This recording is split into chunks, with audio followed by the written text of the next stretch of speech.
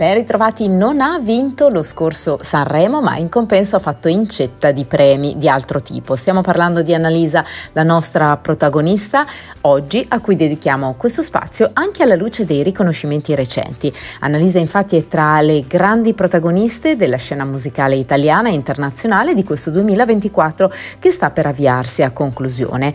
Oltre ad avere raccolto grandi consensi dal pubblico, la pop star ha infatti collezionato numerosi premi sia sia in Italia che all'estero.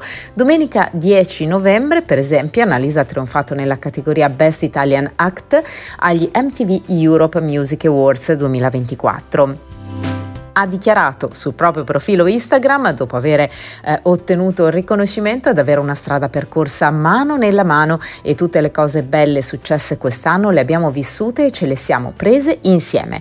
Poche ore prima aveva anche ricevuto il riconoscimento come fenomeno europeo dell'anno ai Los 40 Music Awards. La cerimonia di premiazione si era tenuta a Barcellona. Annalisa si è anche esibita con Sinceramente, cioè quando, quando, quando, con versione spagnola del brano, classificatosi al terzo posto alla 74esima edizione del Festival di Sanremo. A marzo invece la pop star era volata a Los Angeles per ritirare il premio Global Force ai Billboard Women in Music Awards.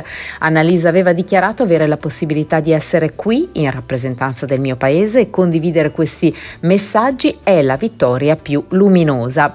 E poi ancora a settembre eccola a fare il pieno di stato statuetta ai Team Music Awards. La pop star aveva ritirato il premio Arena di Verona, il premio Year One e il Team Summer Hits per Storie brevi con Tananai.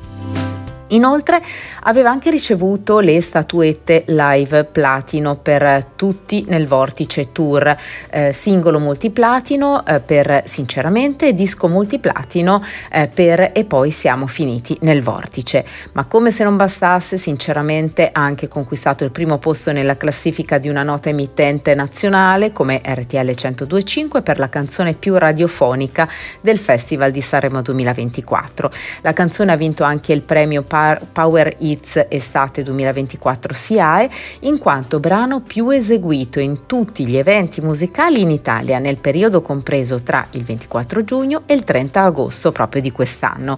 Inoltre Annalisa ha ricevuto anche ben due telegatti, uno per la carriera e uno insieme a Tananai per Storie brevi, poiché eletta canzone dell'estate scorsa. Come dire, quanto basta per capire che questa interprete, nata musicalmente dopo alcune esperienze nell'ambito eh, musicale con due gruppi, poi divenuta nota come cantante solista nel 2011 partecipando alla decima edizione del talent show Amici di Maria De Filippi ha ormai eh, fatto il salto nel mondo musicale internazionale. Se all'epoca aveva ottenuto il premio della critica vincendo poi l'anno dopo ad Amici Big, nel 2023 ricordiamo che la rivista Forbes l'aveva inserita fra le 100 donne di successo in Italia. E allora torniamo proprio agli esordi adesso e a un brano come Giorno per Giorno dal primo album in studio eh, da solista Nali del 2011 appunto. Buon ascolto!